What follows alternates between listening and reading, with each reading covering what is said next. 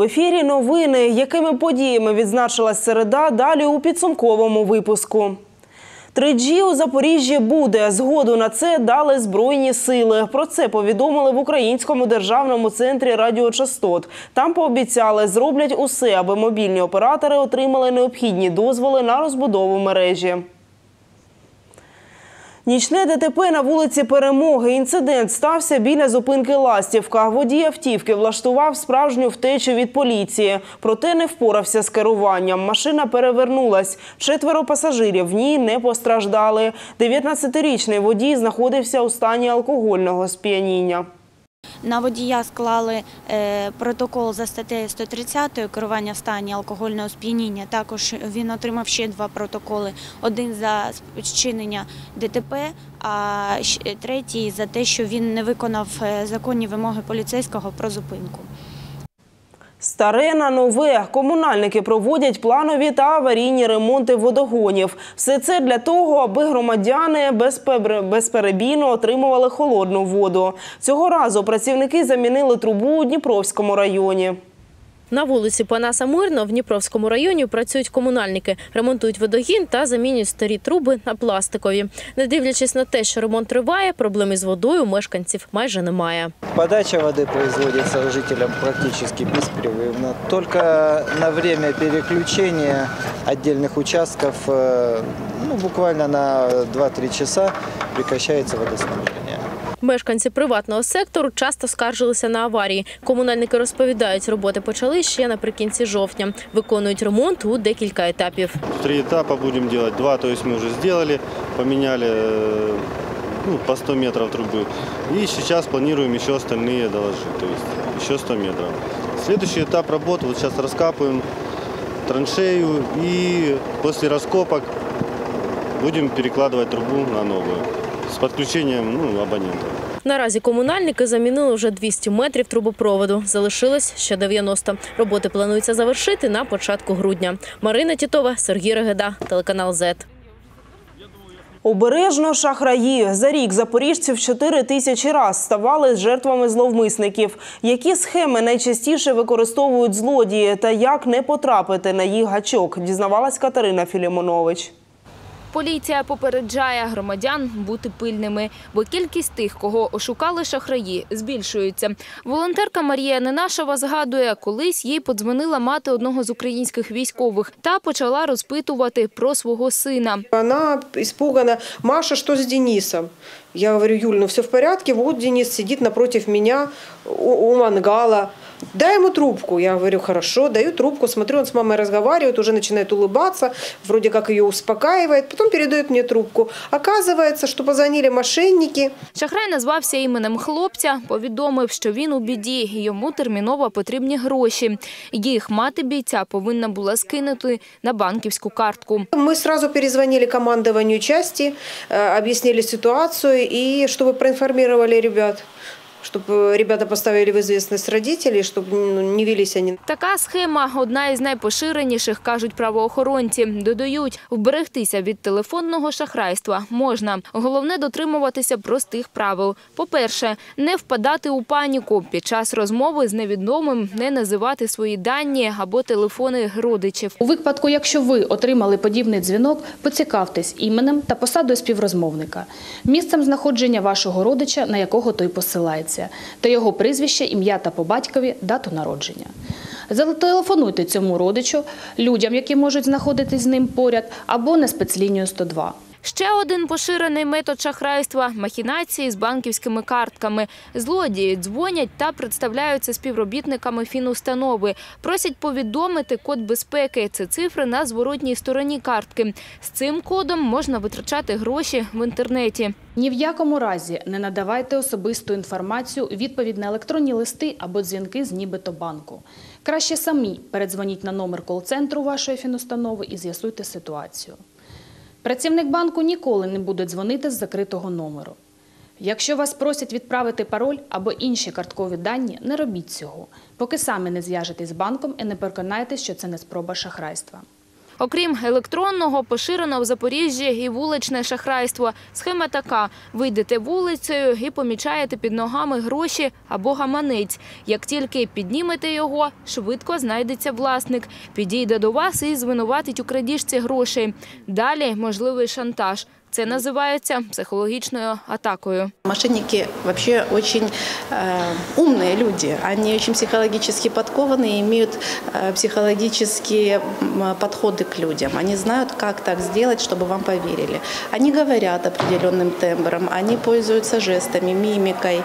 Психологиня радить не сприймати на віру інформацію від шахраїв, не вступати з ними у суперечку та не піддаватися на провокації, а ще викликати поліцію в будь-які підозрілі ситуації. Катерина Філімонович, Ірина Хомуцька, Віталій Швець, телеканал ЗЕТ. Боротьба триває. У Запоріжжі демонтують незаконні мафи. Їх встановлюють місцеві підприємці. Одну з таких споруд прибрали у Заводському районі. Як це було, бачила Марина Тітова. На вулицю Глазунова заїхав кран. Через декілька хвилин тут демонтують так званий МАФ. Він стоїть на цьому місці вже близько двох місяців. Аби споруду змогли прибрати без перешкод, сюди прибули патрульні, представники влади та керівництво району. За їх словами, МАФ встановлений тут незаконно. Во-первых, он установлен вне схемы да, установки временных этих сооружений. Это первое. Второе, он установлен с нарушениями норм и правил по отношению, так сказать, к остановке. То есть здесь нарушаются э, все нормы охраны труда, когда люди выходят, заходят в трамвай и вообще, как бы, когда они продвигаются здесь э, по этой территории. И э, общение, так сказать, в правовом поле с собственниками этого киоска не привело к тому, что, чтобы они его добровольно отсюда убрали. Власники кіоску запевняють, споруда встановлена на законних підставах. Говорять, дозвіл та паспорт є. Вот схема, вот паспорт. Я тетка. еще раз вам говорю. 20 лет она существует Я здесь. еще раз говорю, что в этом месте этот ларек стоять не должен. Не, потому что Вас, вот это- преду- вас письменно предупреждали. один Письменно не раз, предупреждали. второй, Где ваши третий. решения? Іншу думку з цього приводу мають представники міського департаменту архітектури. Кажуть, документи, які надав підприємець, наразі не дійсні. Документи, які в нього є на руках, це паспорт кіоску 99-го року.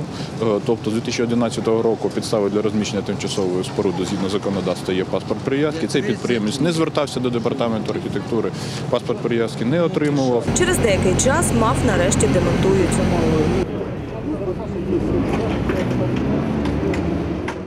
Зараз в Запоріжжі близько 900 незаконних споруд. Представники влади закликають підприємців оформити паспорти прив'язки. В іншому разі на кіоски чекає демонтаж. Марина Тітова, Володимир Шот, телеканал ЗЕТ.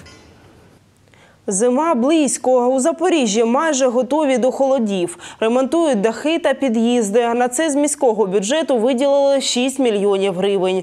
Як тривають роботи, бачила Євгенія Вертій. Разом з комунальниками проїхалась трьома адресами. Проспект Соборний 149. Зараз тут триває ремонт. Комунальники лагодять покрівлю. Раніше вона протікала. Люди не раз писали скарги. Ремонт розпочався нещодавно. Зараз приведена до ладу майже половина даху. Паралельно тут роблять косметичний ремонт входу до будинку. Делаются кровли. Э, Капитально ремонтом в прошлый период были заменены окна на металлопластиковые в жилом доме.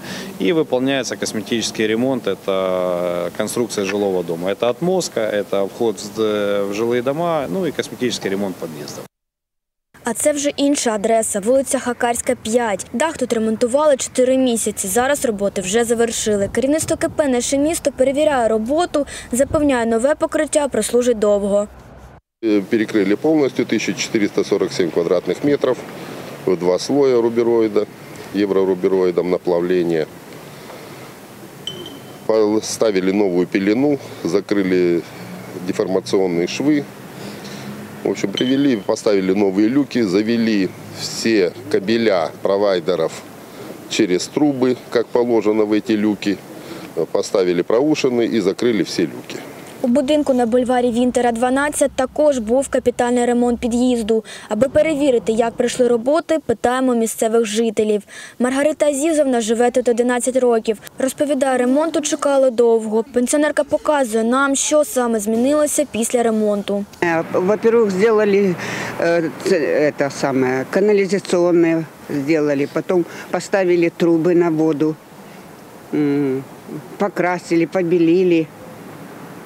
Ну, единственное, еще там маленькая недостача, это не сделали там, надо ручку прикрепить. На цьому роботи по відновленню будинків не завершуються. До кінця року комунальники обіцяють привести до ладу ще декілька десятків під'їздів. Євгенія Вертій, Дмитро Першелець, телеканал ЗЕТ. Скільки треба дерев, щоб озеленити усе Запоріжжя? Відповідь на це питання знають в КП «Зеленгосп». 70 років там вирощують рослини для міста та всієї України. На підприємстві зростають туї, сосни, берези та калини. Анна Кулькова побувала на підприємстві та готова розповісти все, що бачила. Оріхівське шосе 9. Тут на в'їзді з міста знаходиться найбільше КП в області Зеленгосп. На 200 гектарах землі вирощують різноманітні рослини. Мы выращиваем лиственные, кустарники, хвойники. Единственное предприятие наше по Украине, э, которое выращивает всю продукцию само. Выращивается это все годами, не за год и не за два. То есть начинается все с семя, сеется, потом череночек мы в тепличках выращиваем, потом высаживаем в грунт. Пока оно вырастет, это и 5, и 10 лет. Усі 5-10 років, поки дерева та кущі зростають, за ними ретельно слідкують працівники Зеленгоспу. Наприклад, в цьому контейнерному відділенні зростають листяні рослини. Їм потрібен особливий догляд. Із Зеленгоспу рослини роз'їжджаються по всій країні. Наприклад, ці ялинки їдуть до Маріуполя. Чимало дерев та кущів з підприємства ростуть і в запорізьких парках та скверах. Працівниця комунального підприємства Раїса Фоменко каже, дерева та кущі зі свого КП завжди впізнає. Мы, получается, выращиваем с самого начала э, деревья, посеяли и выращиваем до самого, как говорится, совершеннолетия. А потом их только отдаем ну, город. Нам интересно просто, как они растут, смотрим на них, радуємося радуемся вместе с ними.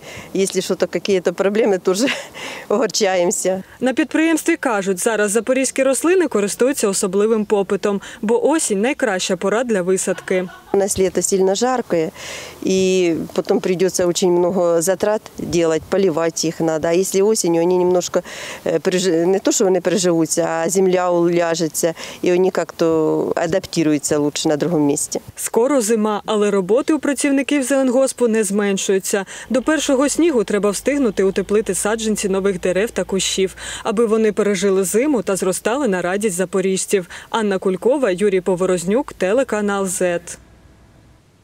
Прийшов, відзняв і написав. За таким сценарієм щоденно працюють телевізійники. Для них це звичайна робота, а ось для глядача таємне закулісся телебачення. 16 листопада працівники телебачення відзначають своє свято. Як проходить творчий процес та робляться сюжети на телеканалі Z, розкаже і покаже Дар'я Сімутіна. А тепер розбор польотів. Так починається кожен ранок у Ньюзрумі. Випусковий разом з головним редактором роздають тему журналістам і заздалегідь обговорюють, яким буде сюжет. Иногда весь процесс обсуждения очень сумбурный, потому что у выпускающего одно видение сюжета, а у журналиста совсем другое видение сюжета. Но наша задача э, прийти к компромиссу и сделать так, чтобы получился материал интересный, понятный и информативный для зрителя. Далі журналіст разом з оператором їдуть на зйомку, там спілкуються з людьми, збирають інформацію та знімають відео. Іноді важко взяти у людини якесь інтерв'ю. Коли ти за бігаєш буквально за цією людиною, ось і вмовляєш його дати розказати тобі якісь пару слів, які необхідні для висвітлення твоєї теми. А так, взагалі, робота, як на мене, то чудова. Потім творчий процес написати текст простою та доступною мовою. Часу на це не так багато, година або дві, не більше. Готовий матеріал перевіряє випусковий та головний редактор. В идеале текст должен быть таким, чтобы правки были минимальными. Нужно править его с автором, чтобы не получилось искаженно что-то или э, ну, не в том числе не потерялся авторский стиль. Після текст начитується та потрапляє на монтаж. Картинку матеріалові надають режисери монтажу. Саме вони оживляють усе, що було написано на папері. Каждому сюжету нужен свой подход, потому что все зависит э, от оперативности. Некоторые сюжеты могут смонтироваться э, за час, полчаса, а есть такие случаи, когда очень э, оперативная новость и нужно смонтировать э, большой сюжет за 15 минут. Монтується сюжет приблизно годину. Після він повністю готовий. Залишилося тільки показати глядачам. А це кімната святиня святих. Тут режисери переглядають сюжет перед виходом до ефіру. На годиннику за 10 хвилин на п'яту перші підсумки дня на телеканалі Z. У режисерів майже все готово. Иногда случаются э, непредвиденные ситуации. Здесь нам приходится прямо, как говорится, с колес э, корректировать э, м, сценарий, согласовывать все, координировать все действия с ведущими, подсказывать им, чтобы они где-то потянули время, где-то задали еще дополнительный вопрос, вот, чтобы зритель э, не ощутил вот тех э, моментов, тех задержек, тех заминок, которые иногда бывают э, в нашей работе. Незважаючи на всі труднощі, які іноді виникають, сюжет потрапляє до свого глядача. Цей сюжет пройшов також всі ці етапи підготовки, аби вам, наші глядачі, було цікаво і зрозуміло все, що ми робимо. Дар'я Сімутіна, Ірина Хомуцька, телеканал ЗЕЦ. Він вразив всю Україну. Запоріжець Родіон Переродов переміг в одному з найпопулярніших співочих шоу України. Як йому це вдалося, дізнавалась Мар'яна Сарапій. Він той співак з народу, який переміг на всеукраїнському пісенному конкурсі. Радіон Переродов розповідає, був ладен на все, щоб попасти на конкурс. Спочатку Кондратюк мене не вибрав, пройшов далі. Затем, как бы, я его за руку и сказал, что Кондратюк, Игорь Васильевич, я вас убедю. Хлопцю 16 років. Він працює та допомагає мамі, викладає вокал. Тепер демонструє свій талант нам. Як на ті чорнобривці погляну, бачу матір стареньку. У майбутньому Радіон планує закінчити школу, переїхати до столиці та вступити у виш. Хоче стати професійним співаком. Мар'яна Серапій, Віталій Швець, телеканал ЗЕТ. Більше 10 тисяч гривень. Таку суму зібрали актори на лікування відомого режисера Володимира Кучинського. У благодійному концерті прийняли участь усі театри Запоріжжя. 7 тисяч гривень виручили за квитки, ще 3 тисячі зібрали усі небайдужі. Нагадаємо, режисера виявили гострий лейкоз. Запорізьке театральное товариство от всего сердца высказывает большую благодарность всем запорожцам, которые внесли свои благотворительные взносы, внесли пожертвования э, фонд поддержки э, львовского режиссера, нашего коллеги Владимира Кучинского. Гендер, расизм, обмежені можливості та орієнтація – ось головні ознаки дискримінації в багатьох країнах світу. Багато людей щодня і в Україні стикаються з непорозумінням оточуючих. Як навчитись толерантності один до одного, дізнавалась Катерина Лук'янець. Дмитро Калінін – відкритий гей. Про свої вподобання хлопець зрозумів багато років тому. Прочитав багато статей в інтернеті на тему ЛГБТ і вирішив зізнатися мамі. Вона таку звістку прийняла не одразу. Прошел месяц, прошло два месяца, прошло полгода, и она начала понимать, что то есть, уже ничего не изменится. И доказывал, показывал различные статьи, фильмы, что вот у меня это еще с 11 лет я начал это осознавать, с начала полового созревания, то есть ничего не изменится уже. Але потім мама зрозуміла свого сина і навіть почала ходити на тренінги для батьків ЛГБТ дітей. Це важливо, каже Дмитро, адже він часто стикається з непорозумінням та насмішками з боку інших. Часто я слышу смешки, часто я слышу унижение именно в стенах своего учебного заведения. И для меня это всегда стресс. То есть это приходить, и я жду, пока скорее бы закончились пары, чтобы просто чувствовать себя в безопасности. Місце, де хлопець почуває себе безпечно, один з місцевих благодійних фондів. Він працює з такими, як Дмитро. Про організацію хлопець дізнався від свого друга. Тут знайшов підтримку та розуміння. Тепер і сам працює та допомагає таким, як він. Здесь часто проводят различные образовывающие мероприятия, интересные тренинги, э, благодаря которым я могу узнавать новое. И с недавних пор я стал волонтером, то есть сам провожу такие мероприятия и рассказываю людям э, то, что я считаю, что необходимо, чтобы знали. В майбутньому хлопець хоче стати правозахисником, аби захищати тих, хто потерпає від дискримінації. Дмитро Калінін каже, відкрито заявив про себе, щоб інші побачили, бути не таким, як всі. Це нормально. Катерина Лук'янець, Віталій Швець, телеканал ЗЕТ. Конкурс Перлина Запоріжжя цього року ювілейний. 10 років поспіль учасники змагаються у номінаціях поезія, проза, малюнок та фотографія. Основна тема конкурсних робіт патріотизм. За словами організаторів, у творах та виступах учасників відображені історичні події міста та пам'ятні місця Запорізького краю. Переможців конкурсу нагородили подарунками. Що надихало, ну ви знаєте, можливо, українське слово, можливо, це як то кажуть, муза, в яку ніхто не вірить, але вона все одно існує, тому що без неї нічого написати неможливо. Я, звісно, дуже хочу перемогти, тому що е, я люблю поезію, я люблю писати вірші. для талановитої молоді, і е, це можливість е, і показати свої здібності і свої е, думки своїм одноліткам.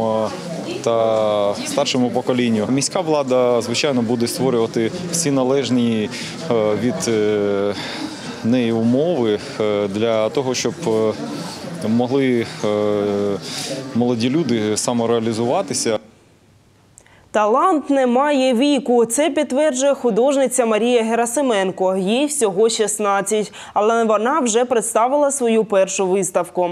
Серед робіт соковиті натюрморти та надихаючі пейзажі. Критики кажуть, усі роботи різні, але об'єднує їх одне свіжий погляд художниці. Тобто роботи виконані різнопланові, але всі вони академічні. Тобто тут є фантазійні роботи, є навчальні роботи, і Марія дуже багато працює, аби, аби по-перше, реалізуватися творчо, а по-друге, е, аби набути досвіду творчого. Такими були підсумкові новини середи. В студії працювала Євгенія Щеніна. Далі новини спорту.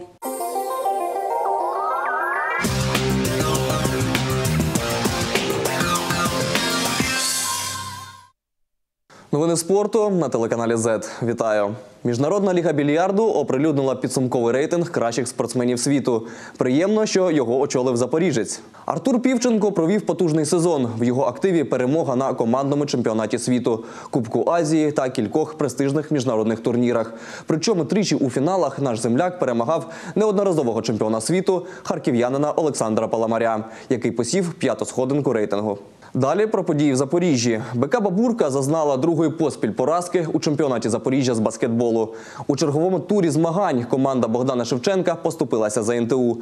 Хто стане переможцем протистояння, стало зрозуміло вже у першому періоді. Подробиці у сюжеті Микити Карпія. Щоб поховати будь-яку надію бабурки, баскетболістам з НТУ вистачило перших трьох хвилин гри. За цей час господарі арени спромоглися набрати 21 бал, тоді як гості заробили лише три.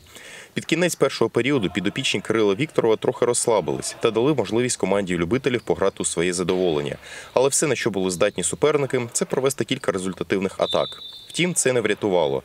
У підсумку перший період завершився з рахунком 40-11. Капітан Бабурки зазначив, його команді слід попрацювати над впевненістю. Начнем просто э, перебарывать, во-первых, как бы с серьезным соперником всегда присутствует нервозность и страх, а с более как бы равным, которых мы знаем, э, всегда как-то более идет, э, ну, скажем так, э, расслабленно. И когда ты расслабленно играешь, у тебя все и получается и в удовольствие, и действительно по игре все лучше. Поэтому на следующую игру будем так и планировать. Надалі гра нагадувала полігон для відшліфовування яскравих комбінацій з боку ЗНТУ. Іноді бабурка мала нагоди створити бодай мінімальну інтригу, але м'яч у кільце принципово не йшов. Друга половина зустрічі для команди любителів була більш результативною. У кінцевому підсумку вони змогли набрати 55 балів. Таку ж кількість очок вони заробили і у попередньому поєдинку зі збірною КПУ. Господарі з цієї зустрічі до кінця демонстрували повну віддачу грі.